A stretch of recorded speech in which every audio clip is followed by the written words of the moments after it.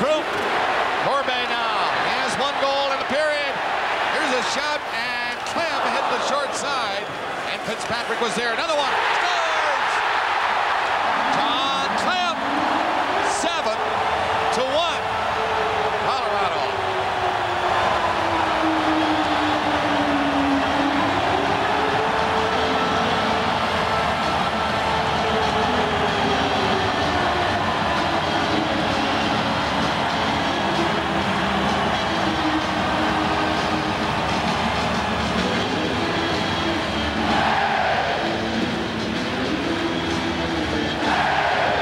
Got his own rebound and scored. Atrocious defensive zone coverage here. Florida has given up in this game by the look at it.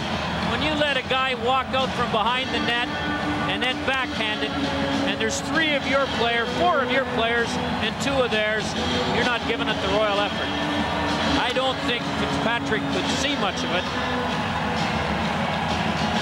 Could, he should have had it. Although it was a great shot off the far post. Corbet and Krupp assisting on that